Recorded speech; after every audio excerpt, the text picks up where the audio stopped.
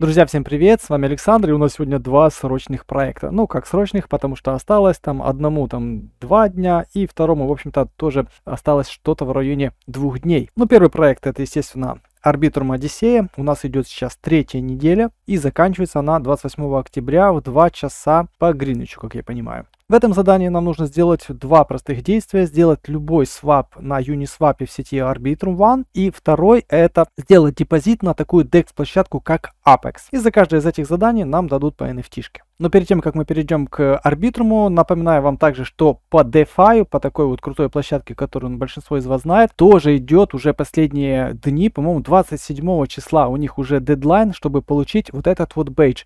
Early Adopter.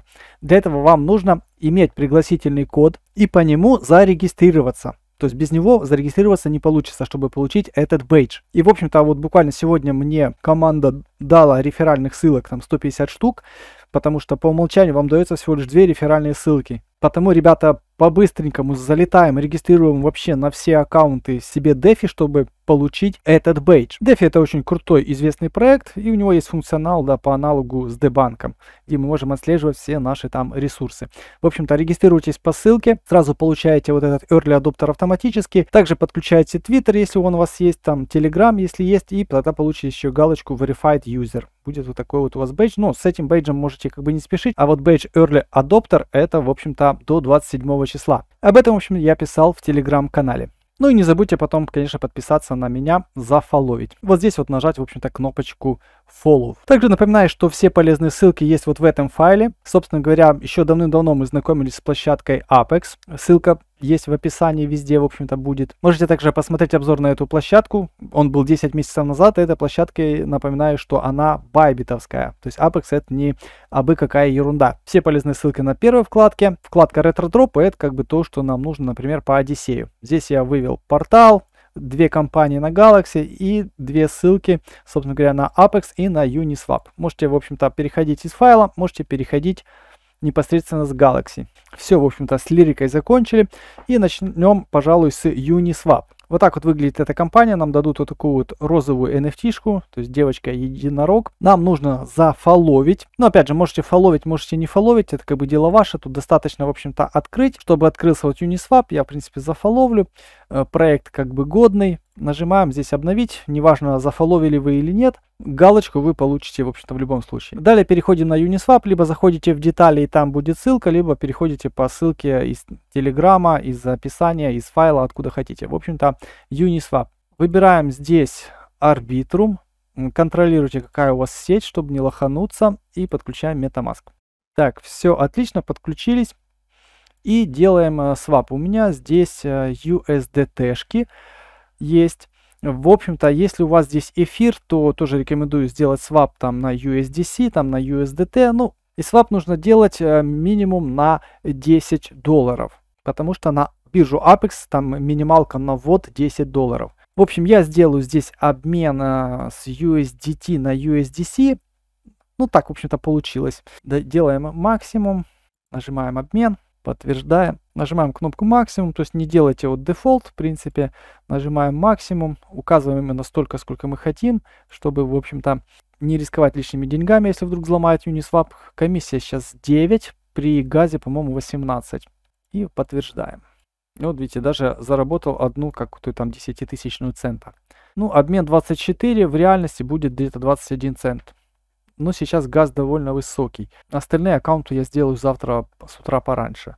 Там будет газ поменьше и будет подешевле. Так, в общем-то, USDC-шки у нас появились. Можете возвращаться сюда и здесь делать свап. Э, здесь может пройти какое-то время. Давайте смотрим, когда был последний обмен. Э, в 7.52. Я пару минут назад делал другие аккаунты, и тут как бы, ну, минут через там 5-10 оно у меня подтвердилось. Но здесь пишет, что проверка идет вручную. Так что, может, придется подождать. Дальше переходим на вторую компанию. Это у нас Apex. Как я сказал, это байбитовская штука. И площадка довольно интересная. Опять же, посмотрите видео. Опять же, нажимаем Follow. Можем, как говорится, можем даже это все дело не фолловить. Просто нажимаем обновить.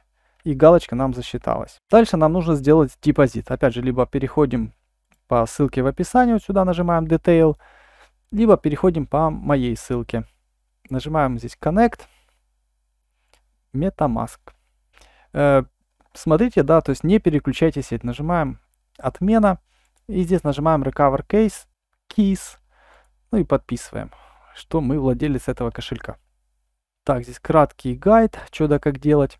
Площадка это интересна тем, что здесь легко и удобно, в общем-то, торговать вот в лонге в шорт на DEX. То есть делаем депозит и этими деньгами торгуем, рискуем только тем, что мы положили на депозит. И тогда, когда я делал обзор, здесь было всего лишь, по-моему, две, э, буквально три, может там, или четыре вот пары. Сейчас, как вы видите, пар стало уже намного больше.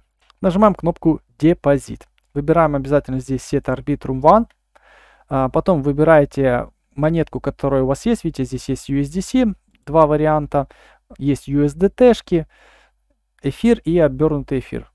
Можете депозитить эфир, тогда вам, по-моему, не, не нужно будет нажимать вот эту вот кнопку Enable USDC. Ну, а у меня USDC-шки. Давайте нажмем. Нажимаем максимум, нажимаем дальше. 14 центов на этот раз просит. Так, approve прошло, и теперь нам предлагает сделать депозит. Опять же, вот видите, если я напишу здесь меньше 9, оно пишет минимальный депозит 10 USDC. Потому меньше 10 у вас положить не получится. Ну а с выводом там есть отдельная история, сейчас я вам расскажу. Нажимаем подтвердить депозит. Опять же у нас да, есть комиссия. Отлично.